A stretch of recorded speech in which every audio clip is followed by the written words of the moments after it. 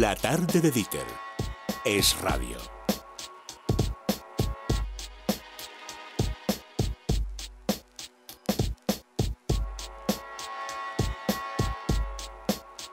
Las 6 y 6 minutos, las 5 y 6 en Canarias, se creerán ustedes que lo hemos hecho a propósito, ¿no? Pero la verdad es que aquí quien nace de pie, luego la suerte viene echada. Porque justo hoy, Sandra, el día en el que en el Congreso de los Diputados el PSOE, el PP y UPyD votan juntos, después de mucho tiempo, una moción, vamos a hablar con unos chavales que tienen tendencias políticas, cada uno de su padre y de su madre, del Partido Popular, del Partido Socialista, de Izquierda Unida, de Unión Progreso y Democracia, supongo que del resto de formaciones, que se han puesto de acuerdo para eh, montar una plataforma que se llama Concopia Europa. Es una plataforma que ha nacido precisamente de la inquietud de unos jóvenes que se dicen inconformistas y que se unen con una característica común. Europeístas críticos, jóvenes como por ejemplo Adriana Maldonado, buenas tardes. Hola, muy buenas tardes. Pablo Colomer, buenas tardes. Buenas tardes. Y José Piquer, muy buenas tardes. Buenas tardes. He dicho algo que no sea verdad. Es verdad que cada uno vosotros tenéis la tendencia política, Ideolo- José, que... Ideologías de todo tipo, gente que venimos de ámbitos profesionales muy diferentes, eh, clases sociales diferentes y con inquietudes políticas muy diferentes. Lo que nos une, como has dicho tú, es el mensaje de- del europeísmo crítico.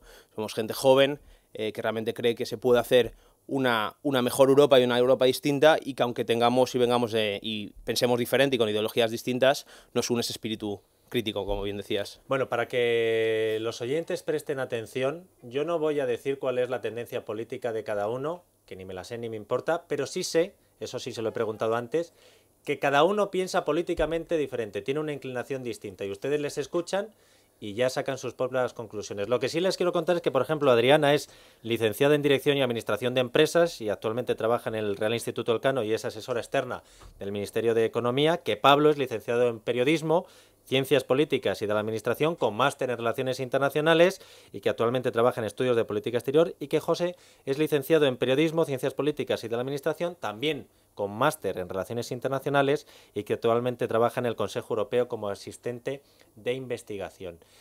Eh, Alguien me tiene que contar la historia, pero la de verdad. ¿Cómo sale esto? ¿Os conocisteis eh, de cañas eh, en la facultad? la- las cosas buenas suelen surgir en torno a las cañas, o sea que eso es cierto. Muy ¿Cuál fue. ¿Cuál fue el nexo de unión? Porque, o a través de internet, las redes sociales, Pablo.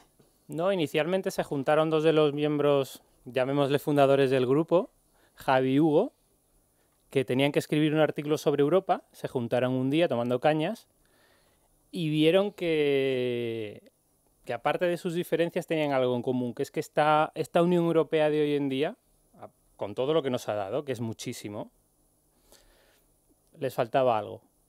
O sea, sentían que, que esta Europa podía ser mucho mejor y que ellos, siendo la primera generación europeizada, que ha nacido con la bandera europea en todas las todos los edificios públicos de España, tenían derecho a, a expresar su opinión sobre una materia que les afectaba de manera directa.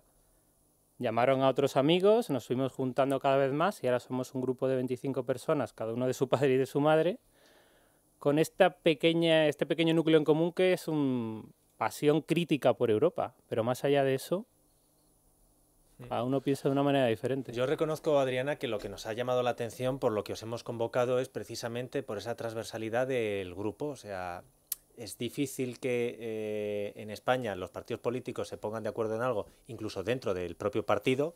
eh, y me llamaba la atención que un grupo de jóvenes, eh, pues unos del PSOE, otros del PP, otros de UPyD, otros de Izquierda Unida, decidierais juntaros en torno a una plataforma que tiene de común eh, la cuestión europea, pero que no deja de ser una plataforma política. En las discusiones supongo que serán animadas, ¿no? Claro, a ver, CC Europa cuando nace, eh, nace porque los jóvenes que la creamos nos damos cuenta de que tenemos amigos de otras nacionalidades en Facebook, que hemos estado de Erasmus, que hemos viajado en Interrail. Por lo tanto, somos conscientes de que hay una Europa intangible que nosotros, como hemos nacido dentro de ella, no somos capaces igual de apreciar, pero que es muy importante y hay que reconocer la generación pasada que hizo posible llegar hasta aquí. Es decir, vivimos en un estado del bienestar con derechos y libertades que nuestros antepasados eh, consiguieron. Pero también relevamos nuestro papel actual como jóvenes, somos el futuro, pero también tenemos que ser el presente, es decir, tenemos que ser conscientes de que nosotros tenemos que aportar no solamente a una Europa actual, sino también a una mejor Europa que cree el futuro. ¿no? La crisis nos ha dejado evidente de que las políticas nacionales ya no van a salir, eh, no van a ser la solución de, esta situación, sino que son las políticas eh, transnacionales y las políticas europeas las que, las que nos van a hacer salir de esta situación. Por lo tanto, eh, nuestro mensaje principal es que queremos hacer a los jóvenes que sean conscientes de la, de la importancia de Europa, en levantarles ese espíritu pro-europeo, europeísta, crítico, que no tiene nada que ver con el euroesceptismo, sino que la intención principal es que crear una plataforma de debate entre los jóvenes, hablando claro, hablando con un lenguaje sencillo pero riguroso a la vez para los jóvenes y que luego cada uno tenga su propio pensamiento y tenga su propia teoría de hacia dónde debe ir Europa. Me parece tan importante el germen del asunto que me da pena que se limite solo, que no sé si se limita solo, a la cuestión europea. Como es tan difícil poner de acuerdo para buscar eh, soluciones a un proyecto común a la gente de diferentes tendencias políticas que ya tienen un cargo representativo, estoy hablando de sus señorías, ¿por qué lo limitéis solo a Europa, José? ¿Por qué no pensáis en, ir un poquito más allá? O sea, más allá que es más acá, en eh, lo interno primero y luego miraremos a lo externo. Pues por varias razones. La primera es que identificamos que hay un vacío en el, debate europeo en España y, en otros lugares, en el sentido de que eh, normalmente Europa siempre se, habla de la misma forma, tenemos la misma narrativa repetida siempre por las mismas personas que la han construido y han hecho mucho por ese proyecto, pero que realmente no han llegado a los jóvenes ni se han dirigido a ellos como, como, como toca. Otra razón fundamental es las elecciones de mayo, eh, del próximo mayo, que para nosotros creemos que son fundamentales de cara a movilizar a la gente a la participación ciudadana. Otra razón es que creemos que las soluciones para los problemas de hoy no se resuelven solo en el ámbito nacional, sino que tienen que decidirse en Europa. Y para eso hay que reivindicar una mejor Europa, hay que reivindicar más participación y llamamos a la gente y a los jóvenes sobre todo, porque nuestra idea es dirigir un mensaje de jóvenes a jóvenes para que se informen, se involucren y sobre todo voten. Nosotros ya no pedimos el voto para nadie en concreto, ni para ningún partido político, ni para ningún ideología concreta, lo que queremos es que la gente cuando se vaya a informar se informe de lo que quiere votar y luego vote en consecuencia. Entonces, eh, creemos que Europa es mucho más de lo que se ha dicho hasta ahora. Creemos que, como el otro día un compañero nuestro decía, que hasta antes de la crisis en Europa solo se hablaba de los tamaños de los pepinos, o solamente es lo que nos llegaba. Y creemos que en los últimos años nos hemos dado cuenta que las decisiones cruciales se toman allí pero lo que queremos es que se tomen allí, que también la gente que las toma allí, las instituciones europeas y los representantes europeos rindan cuentas a los ciudadanos también. Y creemos que ese es un debate crucial y es el debate que nos une, porque realmente eh, las discusiones, como has dicho tú, son muy vivas, eh, no estamos en todo de acuerdo, pero tenemos muy claro qué es lo que queremos. Y no y no nos centramos en el debate de política nacional porque no es lo que, lo que nos interesa. Y lo que nuestra prioridad ahora mismo son las elecciones de mayo y es llamar a la participación y es que la gente se involucre y es que es mandar un mensaje de un, con un lenguaje claro, sencillo y utilizando los medios que son lo, que utilizamos los jóvenes. ¿Y cómo funcionáis? Quiero decir, porque por ejemplo, estamos viendo que, que, vuestro objetivo es claro, que es un poco pues movilizar a los jóvenes que se empiecen a interesar por Europa, supongo que también pues lo que, lo que nos comentabais, que no haya una abstención en las elecciones europeas, pero ¿Cómo funcionáis? ¿Qué hacéis? Porque nosotros en cuanto nos hemos enterado de vuestra asistencia os hemos llamado para venir aquí, pero a lo mejor hay mucha gente que dice, ¿cómo puedo seguirles? ¿Qué es lo que hacen? ¿Dan charlas? ¿Qué, qué hacen? Pues tenemos eh, varios medios. Tenemos una, página web donde además eh, invitamos a que cualquiera que quiera participar y, generar debate y escribir algo lo hacen y de hecho, como veréis, es, eh, eso, actualizamos con mucha frecuencia. Luego somos muy activos en todas las redes sociales y creo que estamos orgullosos de decir que tenemos probablemente los mejores community managers de España, porque si os metéis en Twitter veréis que, que lanzan un mensaje muy fresco, independiente y, muy atractivo para, realmente enganchar a, la gente joven. Eh, luego, bueno, tenemos proyectos en mente. Estamos moviendo por las universidades, pero no queremos ceñirnos simplemente a ese ámbito más académico, más estudiantil. Yo diría que invitamos a cualquiera que quiera conocernos a tomarse una caña con nosotros, porque vamos a empezar a organizar ahora lo que llamamos los Beers and Politics, cervezas y política, que simplemente es reunirnos en un bar y empezar a debatir sobre Europa. Podemos escoger un tema concreto, por ejemplo Ucrania, reunirnos ahí unos cuantos del grupo e invitar a todo el que quiera pasarse a expresar sus ideas. Siempre el debate en clave europea, porque al final Europa es que afecta a todos los temas. Eso de cervezas y políticas lo podéis hacer perfectamente en alguna facultad que yo conozco, cuya aula más visitada era la cafetería. No sé dónde habéis estudiado vosotros periodismo, puedo dar yo las señas de una facultad muy cercana a este estudio. Em, eh, claro, estás hablando, José, de, de, la importancia de las elecciones del 25 de mayo, de que la gente participe, pero, eh, por ejemplo, Adriana, cuando cuando escuchas eh, que estas elecciones se toman como unas elecciones que como no sirven para nada, lo que te pueden servir es para quedarte a gusto con ese partido al que votas, pero que lleva años haciéndote la puñeta por un lado o por el otro, y dices, pues ahora en las europeas como no sirve, mira, te voy a dar un voto de castigo Mariano, Alfredo o como te llames, que me voy a quedar a gusto. Vosotros que estáis intentando construir un debate en torno a estas elecciones europeas, decir, bueno, ¿sirve para algo ser europeísta crítico? Claro, nosotros lo que defendemos, como bien has dicho, es el europeísmo crítico y por tanto nosotros pensamos que las elecciones siempre tienen que ser en clave europea.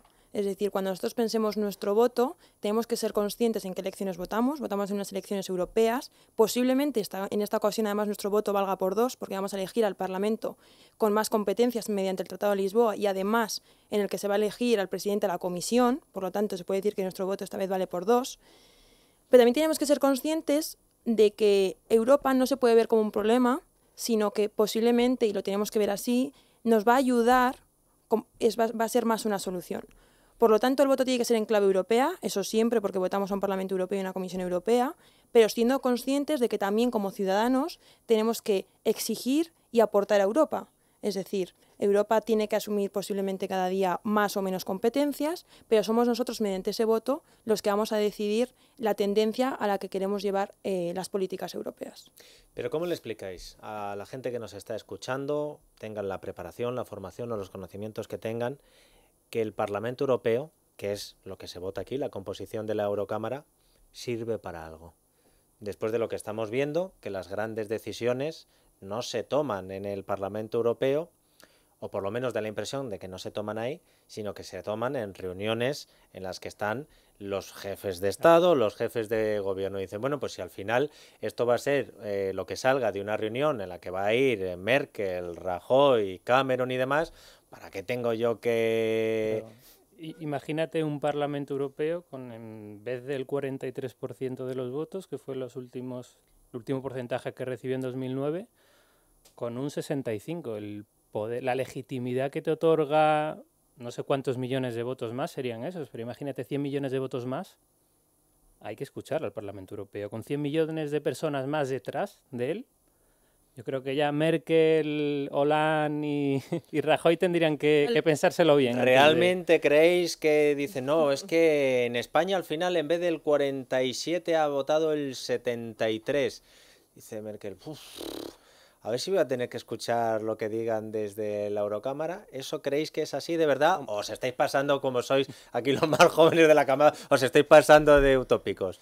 No, no, lo cierto es que el Parlamento Europeo tiene más competencias que nunca y realmente la gente igual no se dice mucho en los medios, pero ha hecho muchas cosas durante la crisis. Es decir, se ha involucrado en muchas decisiones importantes eh, para la resolución de la crisis y ha tenido un, peso muy importante. Eh, lo que nosotros queremos es que la gente vote y aumente la participación. Eso le dará más legitimidad al Parlamento para, para, bueno, para forzar a, que sea escuchado y a que tome decisiones, pero también además le dará más legitimidad al próximo presidente de la Comisión Europea, que como ha dicho Adriana, también se va a elegir esta vez de una manera diferente.